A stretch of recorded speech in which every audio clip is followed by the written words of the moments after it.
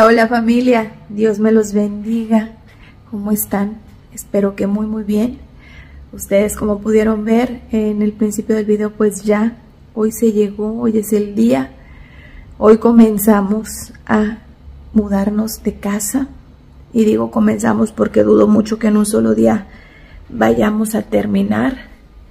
Eh, como pueden notar ando malita, me sigo sintiendo mal, eh, ya ahorita temprano ustedes vieron que ya almorcé y les compartí mis tamalitos deliciosos para darme energía porque va a ser un día pesado. Me tomo un paracetamol para el dolor de cabeza. El dolor de cuerpo lo traigo, me duelen mucho los músculos, los huesos, me siento mal, me siento mal, pero hay que echarle ganas porque hoy vienen a mudarnos. Por lo pronto nos vamos a llevar todo para que la próxima semana les digo primero Dios que, las cosas sean como lo estamos planeando y si no como Dios lo decida que sea, el lunes ya terminar de mudar todo para que el martes ya comiencen a trabajar aquí en la casa, quitar papel tapiz, pintar paredes, quitar techos, eh, llevarme las plantas, todo eso. Entonces es la idea que el próximo sábado, primero Dios, vengamos a limpiar esta casa súper bien limpia y la podamos entregar. Esa es la idea. Pero bueno, pues aquí estamos ya echándole ganas y a lo que sigue. Cansados, enfermos, pero con buena actitud y siempre, siempre, siempre agarrados de la mano de mi Dios, de mi Señor, de mi Salvador, a donde Él nos lleve. Pero que Él vaya con nosotros, como siempre lo digo, mientras Él vaya con nosotros, a donde sea que vayamos, sabemos y confiamos que vamos a estar bien. Y pues bueno, mi familia, todos estos clips yo ya los tenía desde que comenzamos con toda la mudanza, pero como verán, pues los había puesto sin voz y por eso no se los había podido compartir porque después de todo esto me enfermé todavía un poco más serio al grado de quedarme prácticamente sin voz y pues por eso no se los había podido compartir. Dudé mucho si hacerlo o no porque pues ustedes saben, yo ya estoy viviendo en la casa nueva, que como digo más adelante ya voy a dejar de decirle casa nueva. Pero bueno, yo sé que a ustedes les gusta que les comparta todo el proceso y por eso lo estoy haciendo. Aquí lo que quiero que vean, creo que nunca les había mostrado cómo es la base de mi cama, que son como unos baúles. Esta cama me la hizo mi esposo. En el centro son dos baúles y en las orillas, que es lo que puede verse hacia afuera, son tres cajones de un lado y tres de otro de muy buen tamaño.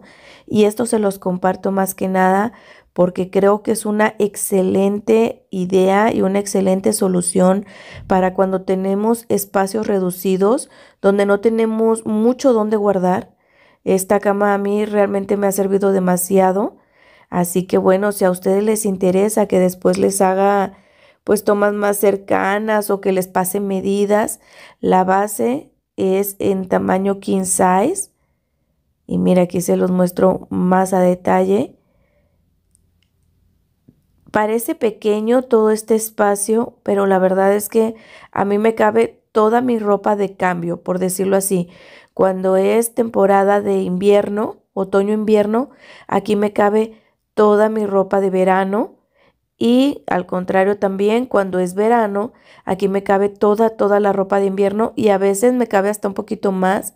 A veces me da la oportunidad de poder guardar las cobijitas, eh, las mantas que yo utilizo para hacer decoraciones. Así que como les digo, si ustedes quieren, después les puedo compartir las medidas para que a lo mejor pudieran acercarse con algún carpintero que se las pudiera hacer a medida y a su gusto.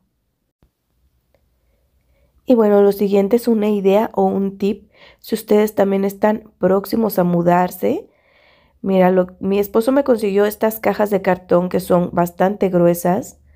Lo que hice fue que en cada caja coloqué eh, solamente objetos y cosas del mismo tipo o de la misma persona.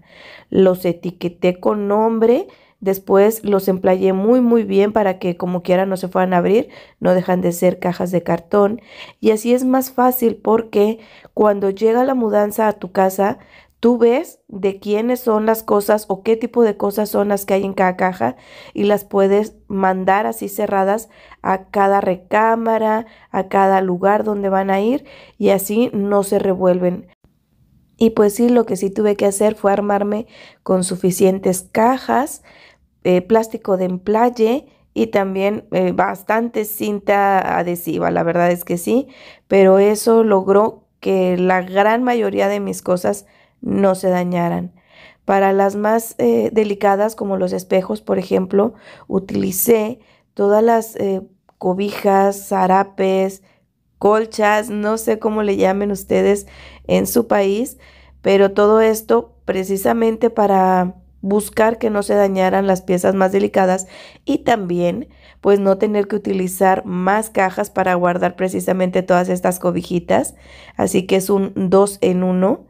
Y como les digo, la mayoría de mis cosas sí se conservó. Algunas sí se dañaron, tengo que decirlo, pero eso fue más que nada por algún descuido. Eh, tanto no iban bien emplayadas como pues sí, en algunas cajas les tengo que confesar, sí se me olvidó ponerle que eran cosas de vidrio y pues los de la mudanza obviamente no iban a tener tanto cuidado con esas cajas y sí algunas cosas se estropearon, pero bueno, creo que, que es normal en toda mudanza. Y bueno, pues también quiero compartirles todo este proceso de cómo estuve quitando toda la decoración, todas las cosas de mi casa y las estuve guardando. También como una manera de hacer no sé qué palabra utilizar, pero vamos a decir un tipo de homenaje o más bien un agradecimiento al tiempo que estuvimos viviendo en esta casa, en donde, como les dije, se crearon muchísimos bellos recuerdos que nos van a acompañar, yo creo que por el resto de nuestra vida. Vimos cosas maravillosas y no era en sí la casa, sino que era donde venían a converger precisamente todas estas situaciones. Casi se dio a la par de cuando aceptamos a Dios en nuestro corazón, entonces fue todo un proceso y vaya, les digo, no tiene nada que ver con la casa, con la edificación en sí, sino que bueno, aquí era donde nos reuníamos como familia al final del día a, platicar, a hablar, a orar, a compartir alimentos y vivir toda esa, toda esa transición. Y pues realmente el hecho simple de poder eh, vivir en esta casa, de poder cumplir con los pagos mensuales de la renta de esta casa, fue de verdad una gran bendición, porque se los he dicho en otros videos, pero a veces uno no logra transmitir la realidad de las cosas y esta casa era excesivamente costosa. Ustedes lo pueden ver en comparación eh, con la que podemos rentar ahora mismo.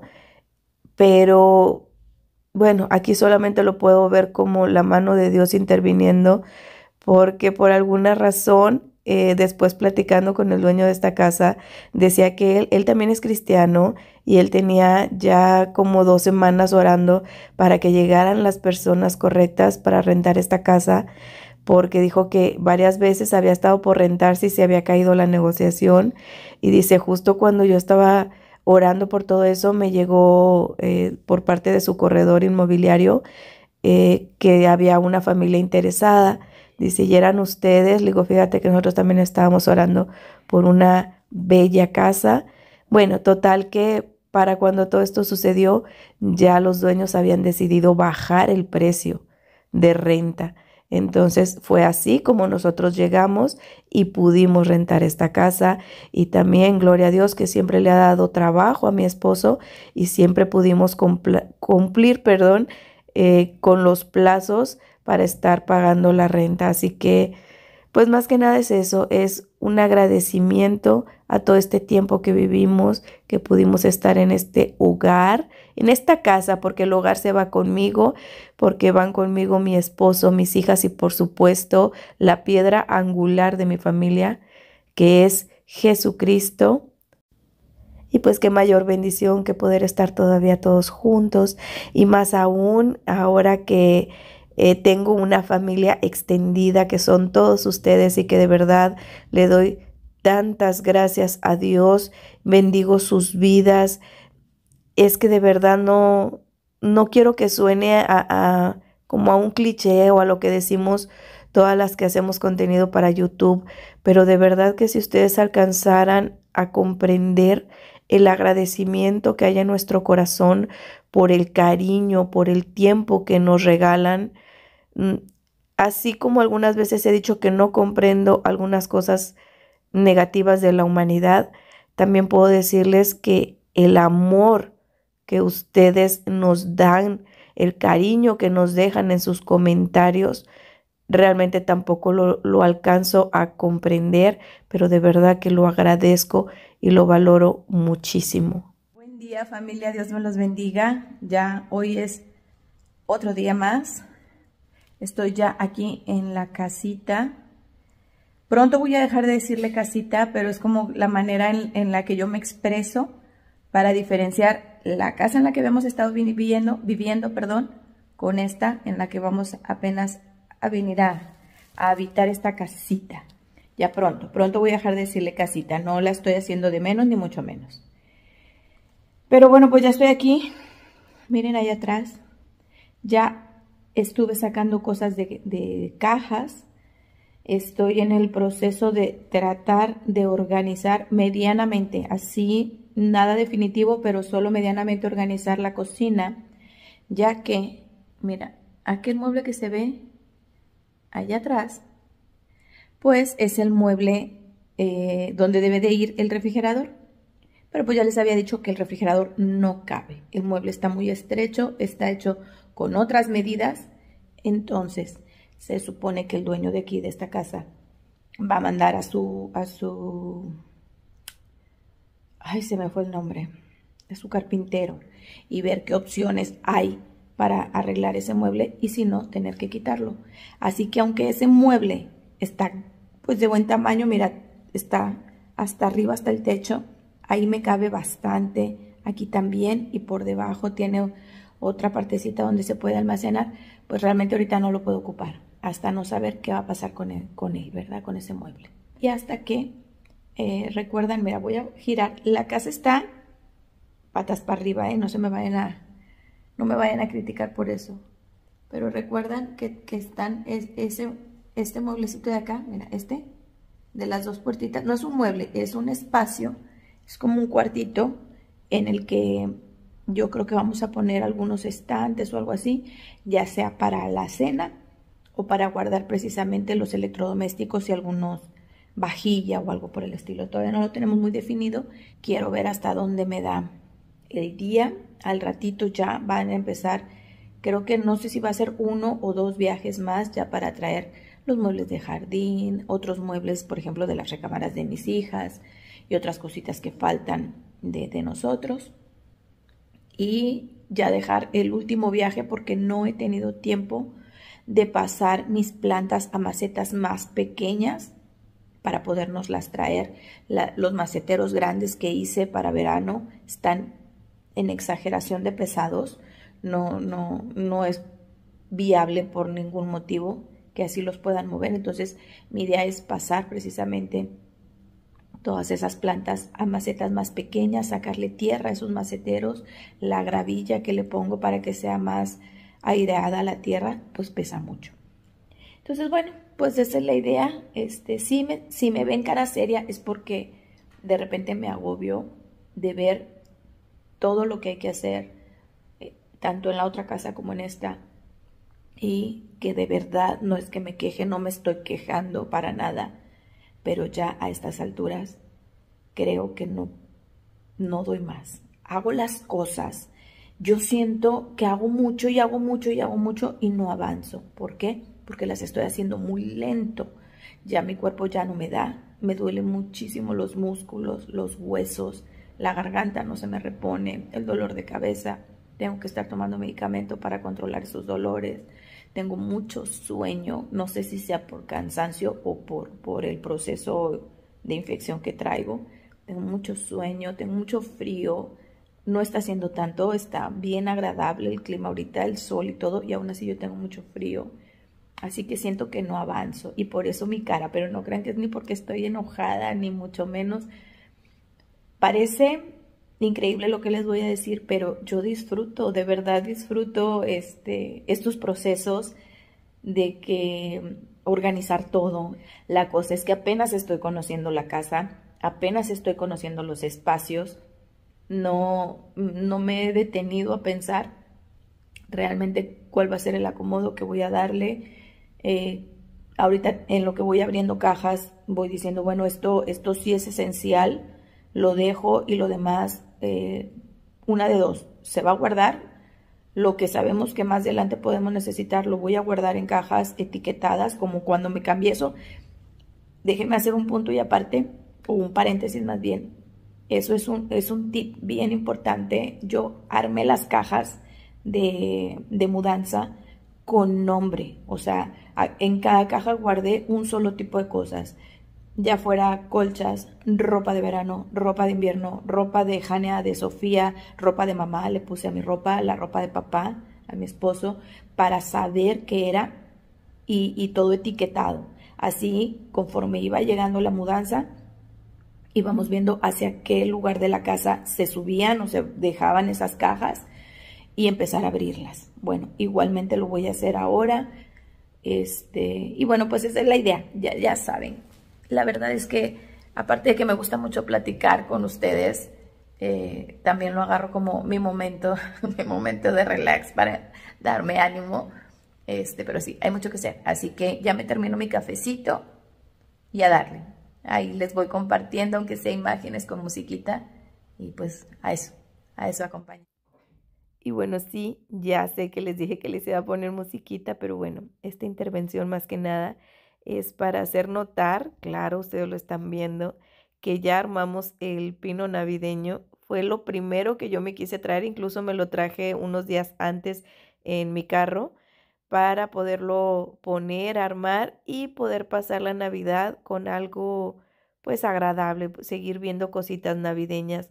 No voy a decorar tanto como en la casa anterior porque pues no me da el tiempo, la verdad, entre que llegan cajas, abre cajas, acomoda, no me iba a dar el tiempo, pero sí quería poner alguna cosita, algún detallito y se los quería compartir en este video, pero ah, en el momento de estar editando iba a salir larguísimo, así que todos esos detalles que puse para pasar la Navidad se los voy a compartir si Dios así me lo permite en el siguiente video, así que no se lo pierdan. Activen ahí su campanita de notificación porque cuanto antes eh, les voy a compartir cómo quedó mi casita para festejar la Navidad. Nada de la decoración que puse, nada de la distribución que hice va a quedar así, sino simplemente pues tratamos de acomodar de la mejor manera. Así que bueno, estén al pendiente de ese siguiente video.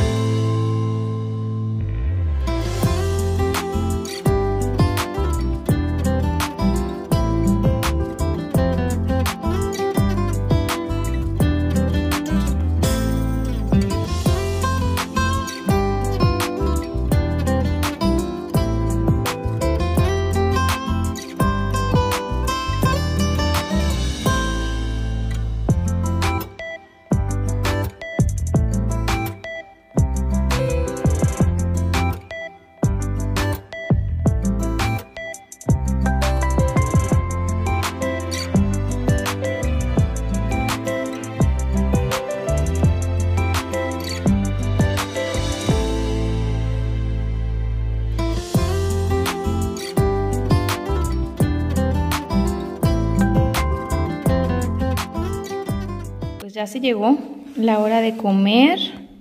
Así que aquí está Andy. ¿Quiere saludar, mamá? no quiere porque andamos en fachas. Andy y yo nos vamos a comer unas tortas ahogadas. Y acá Sophie pidió... ¿Qué estás comiendo, mamá? Ah, un panini. Un panini del Tim Hortons. Pues ni modo, esa va a ser nuestra comidita del día de hoy. Así que provechito si usted está almorzando, comiendo, cenando. Ahorita nos vemos, vamos a cargar energía. Y pues a decir verdad, yo sí me quedé limpiando, organizando, acomodando y poniendo, como les dije, un detallito decorativo eh, referente a la Navidad, pero eso se los voy a compartir si Dios así me lo permite en el siguiente video. Por lo pronto, pues yo me voy a despedir, pero como siempre agradeciéndoles su cariño y que me hayan acompañado hasta el final de este video y pues yo los veo muy pronto si Dios así me lo permite. Hasta entonces y como siempre, les dejo todo mi cariño y que Dios les bendiga. Bye bye.